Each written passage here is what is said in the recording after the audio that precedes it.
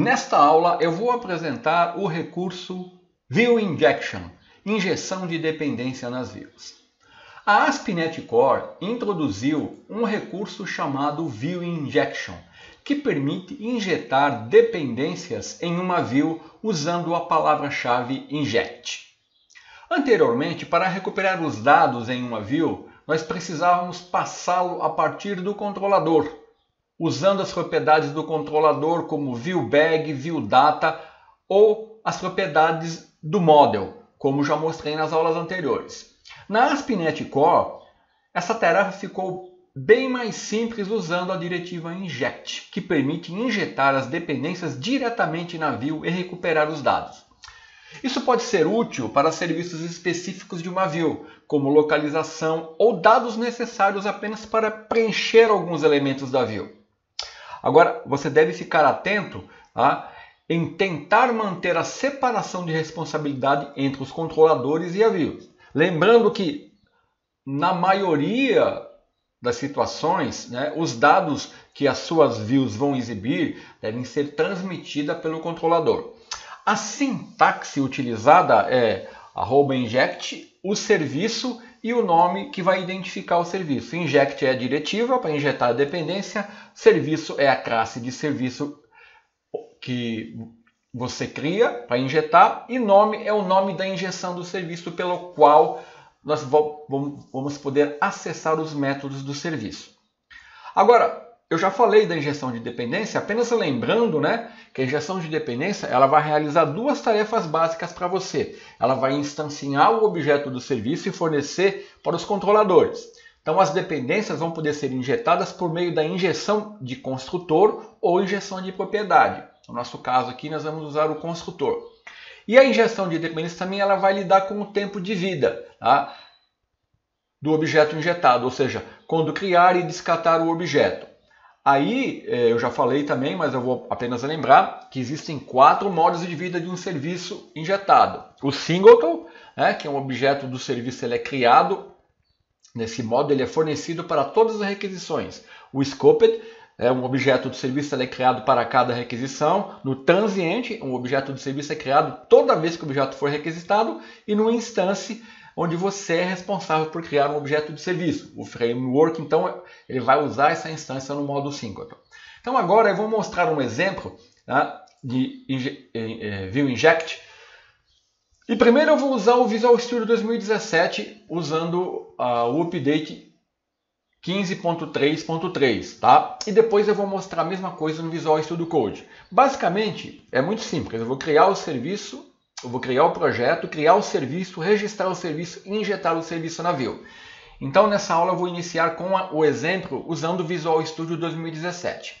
Então, estou aqui com o Visual Studio 2017 aberto. Né? Eu vou clicar aqui em Create New Project, Visual C Sharp, Web e vou marcar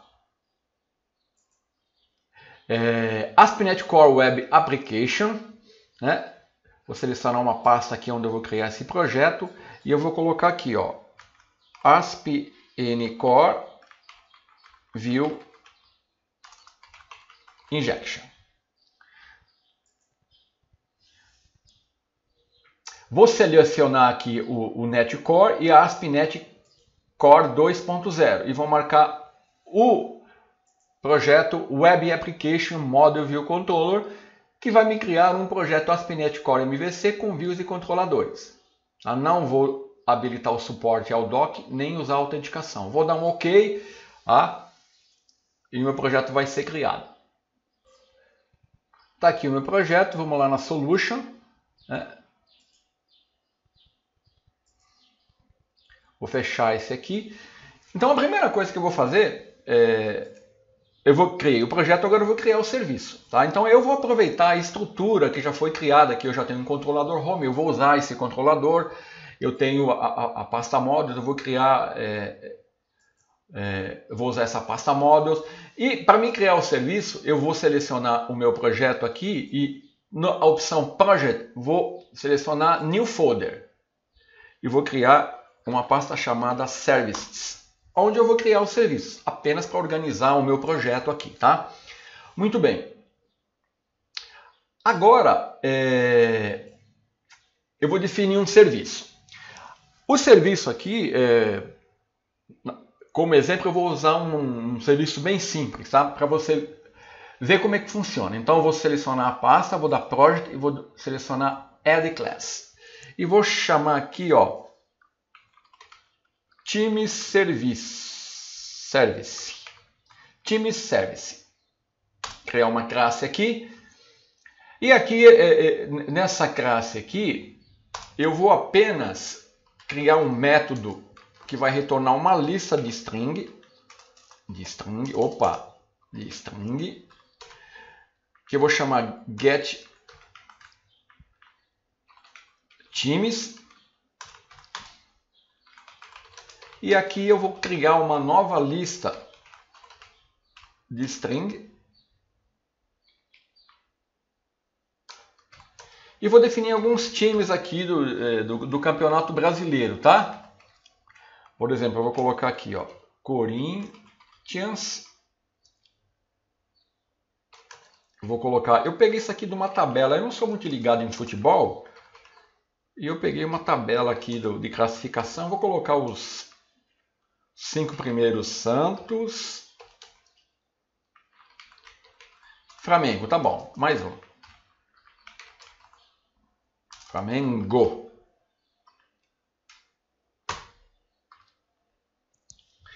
Opa, aqui não tem esse E, né? É new. Então tá aqui a minha, o meu serviço. É um serviço simples que retorna uma lista de string, representando alguns times de futebol. Tá? Eu vou criar um outro serviço aqui, tá? só que para isso eu vou ter que definir uma classe na pasta modules. Eu vou, então vou na pasta modules, vou adicionar uma nova classe, vou chamar ela de estado.cs. E nessa classe eu vou fazer o seguinte, eu vou definir duas propriedades, public e string, o nome do estado, né? Public string, a sigla do estado e eu vou criar um construtor da setor, tab, tab, né? E nesse construtor eu vou receber duas strings, a sigla e o nome, e eu vou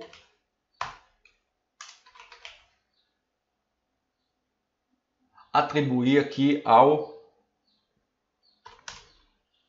as minhas propriedades. Muito bem. Está aqui uma classe com um construtor, onde eu recebo o nome sigla e atribuo as propriedades.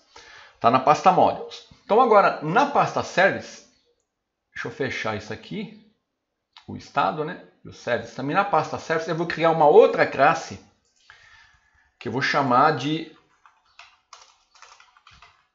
estados service. E aqui eu vou retornar, eu vou criar um método aqui, né? Public list vai retornar uma lista de estado, que eu vou chamar de get status. Então vou retornar uma lista, né? Na minha classe estado. E aqui, ó, new eu vou passar alguns estados aqui. Deixa eu referenciar a classe aqui, né? Está na pasta modules, tá? Então aqui eu vou passar no construtor, vou colocar aqui três estados do Brasil, tá? O nome e a sigla. Vou colocar uma vírgula, vou copiar e colar. Mais um, quatro. Então vamos colocar São Paulo, Rio de Janeiro,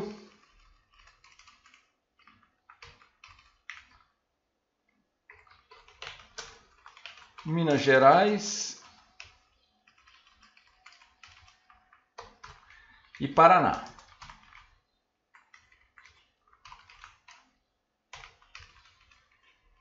Pronto. Então eu tenho dois serviços aqui para mim poder utilizar. Estados, que vai me retornar uma lista de estados. Opa, aqui ficou faltando ponto e vírgula. E uma lista de times. Muito bem, então já criei os serviços. Agora eu vou registrar o serviço. Para mim registrar o serviço, o registro é feito aqui no método Configure Services da classe Startup. Tá? Então eu tenho aqui que definir o serviço que eu vou utilizar e o modo. Né? Vamos rever aqui. Ó. Eu posso usar qualquer um desses modos. Né?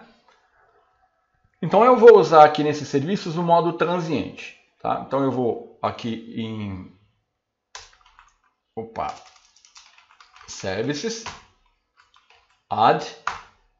Então aqui ó, eu vou definir add, add não, né? O, o add transiente. Deixa eu vir aqui, ó, services. Add transiente. E vou definir o serviço. Por exemplo, é, primeiro, times service.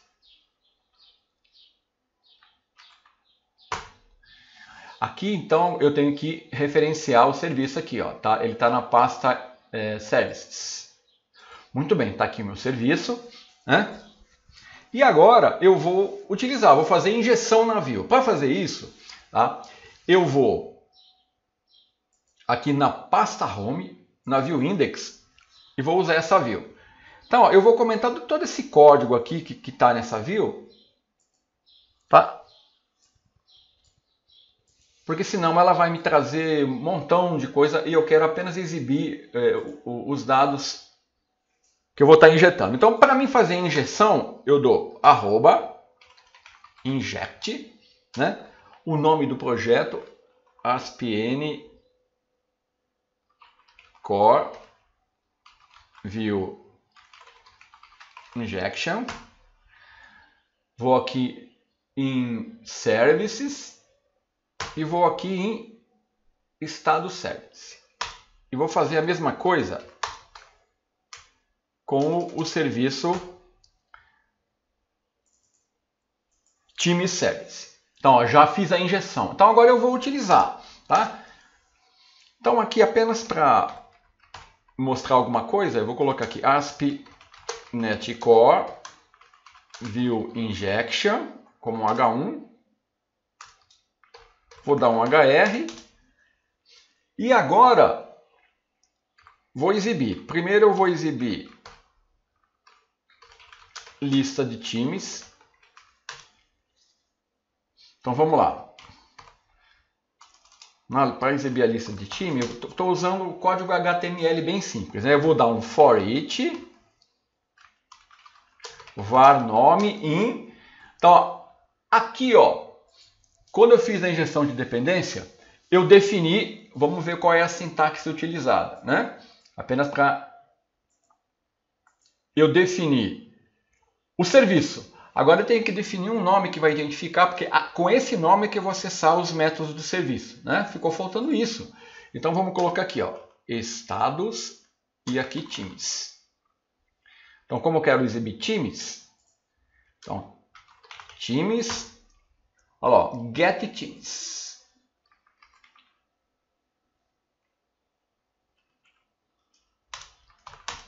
E aqui eu tenho que usar o, o Razor, né? Arroba nome. Então aqui eu vou, eu vou exibir os times. Tá? E aqui eu vou exibir os estados. Ó. Eu vou dar um, um BR outro BR, então eu vou colocar aqui. Vou colocar aqui, ó. Estado. E aqui, ó, eu vou usar, eu vou dar um HTML, vou usar um HTML helper, um drop down list simples, né? Que eu vou chamar de estado. Vou dar uma vírgula aqui. Então, aqui eu vou ter, olha lá, o get estados o nome que eu declarei para identificar o serviço, ó, obtenho o, o, método do serviço, get status. Né? Aqui eu vou dar um select e expressão lambda, né? New selected list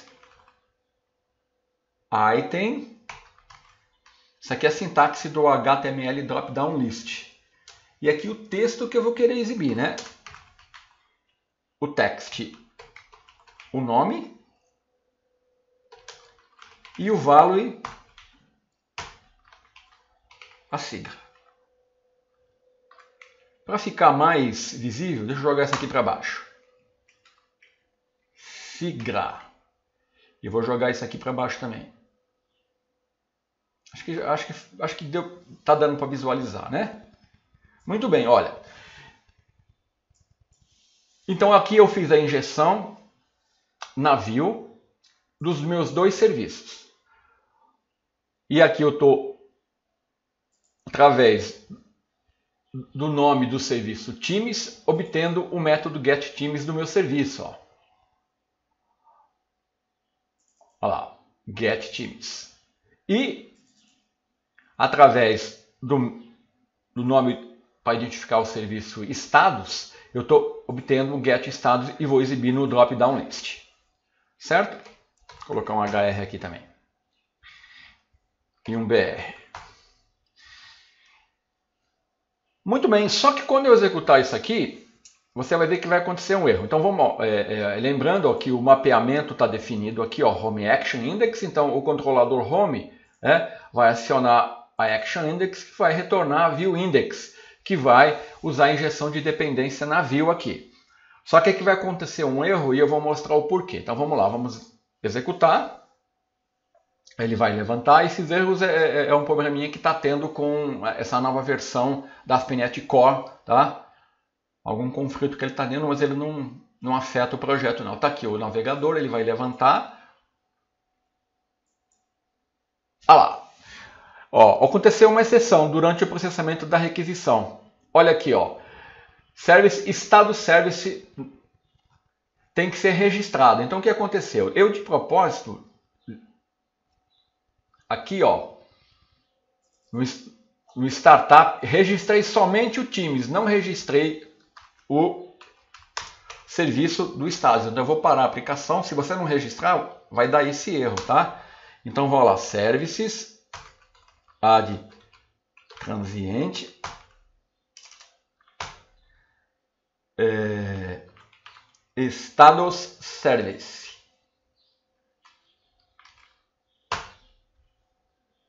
Certo?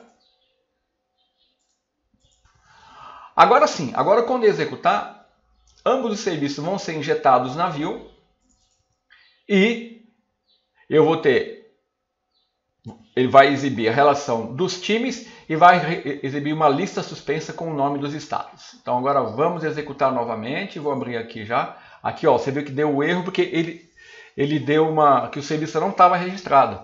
Tá? Então é importante registrar o serviço. Então agora vamos à execução. Olha aqui, ó, lista de times e ó, o estado, os, os estados definidos ali. Tá? Então é assim que funciona a injeção de dependência nas views ou view inject. Então é um recurso interessante que você, é, sabendo usar, pode te ajudar em muitos cenários. Então na próxima aula eu vou mostrar como fazer a mesma coisa usando Visual Studio Code. Tá? Então até a próxima aula.